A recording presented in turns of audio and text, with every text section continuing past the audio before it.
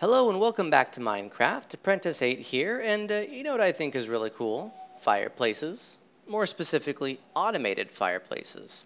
So check this out. Uh, this is, of course, your standard uh, Minecraft fireplace. We're going to be burning some netherrack in here, uh, which is always helpful because it'll just burn indefinitely. You don't have to reload it with wood or anything like that.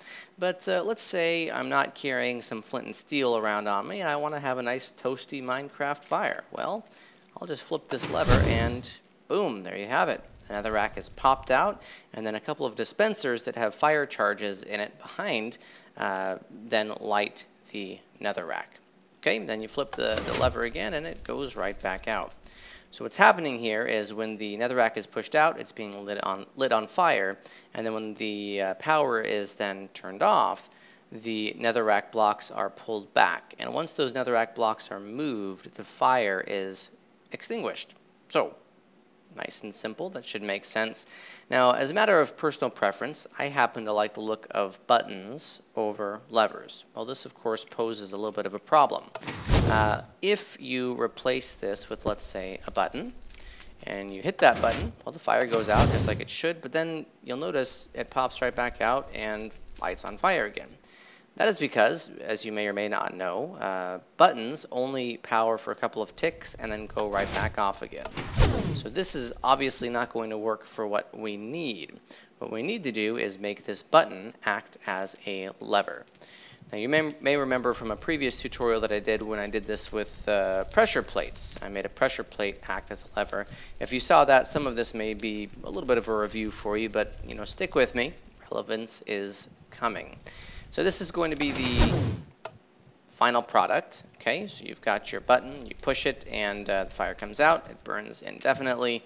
Hit the button again, and it goes out and stays that way indefinitely. Let me show you what's going on behind the scenes. Here's how you're going to set up your fireplace. Uh, first thing you're going to need is a couple of sticky pistons. Okay, so go ahead and place a sticky piston here and here. And then you're going to want to place your nether rack in front of it. Okay, so these sticky pistons will push the netherrack out and pull it back in. And directly above that, you're going to place your dispensers right there and there, and then you're going to hide those with some brick or whatever material you like. Stone works just as well. Uh, and then we're going to be powering this all with a lever. I'm going to show you the basic design first, and then I'll show you how to make that uh, button work as a lever like we talked about before. So now to power all of this, you're going to need a couple of redstone repeaters, which I have here. And then you'll just run a little bit of redstone along the side. I think I went one too far on that one. There we go. To there. And we're going to place a redstone torch. So this lever is going to power this redstone torch on and off. Okay. And then uh, that, of course, carries the, uh, the power to this redstone. We're going to need to lo load some uh, fire charges Okay, into our dispensers. And now when we come around here, you'll notice you flip the switch, and that's in the off position. Flip the switch again. The uh, netherrack bricks pop out, and there is your fire. Okay. Now, let's switch this to a button. I'm going to show you how to do that, and before we actually build it into the fireplace. I'm going to show you this mechanism. And again, I, I mentioned that previous tutorial I did. Uh, this is exactly the same thing that I did there. So uh, you can skip ahead if you've already watched that. But basically, we're going to place this L shape. Any type of block will work. We're going to put a couple of redstone on the top like that. Here's our button that's going to be doing all the work. On each side of this, we're going to place a couple of redstone torches.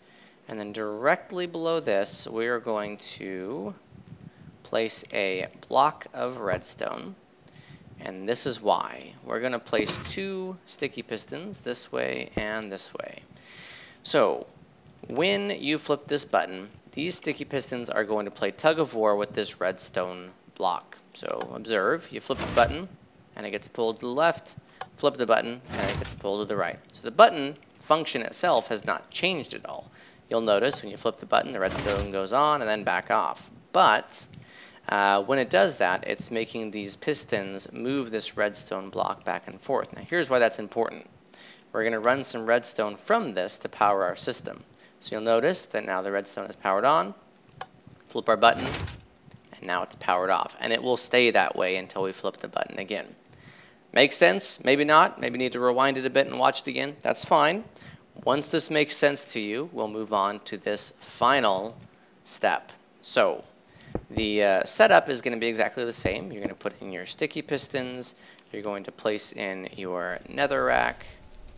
You're going to put in your dispensers.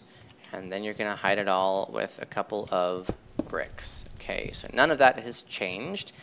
The one thing that has changed, this is going to be a button instead of a lever. With me so far?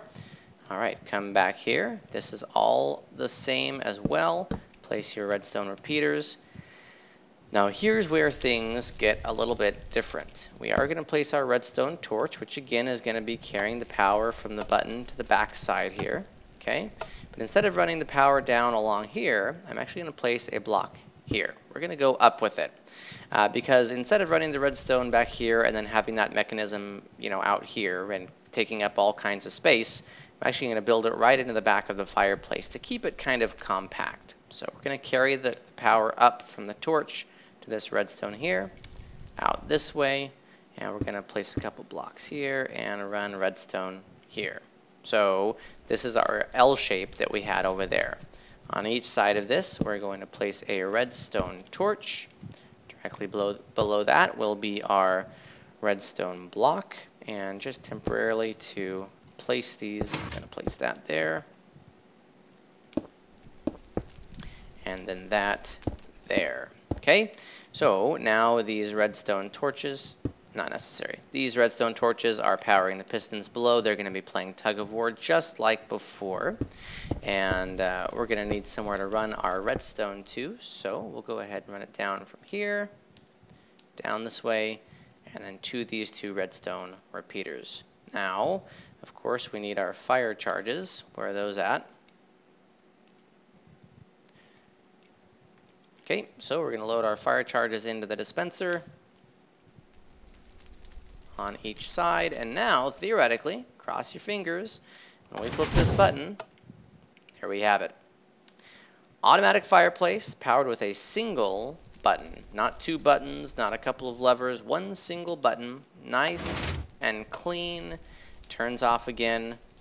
Perfect. I like it. What do you guys think? Uh, if you like this video, go ahead and like, subscribe if you'd like to see more, and uh, as always, thanks for stopping by. Who's this guy? Ro ro roboticist. Roboticist. What, what is he doing here? Is he gonna help us here? Don't just stand there, do something. This robot is dying. Keep on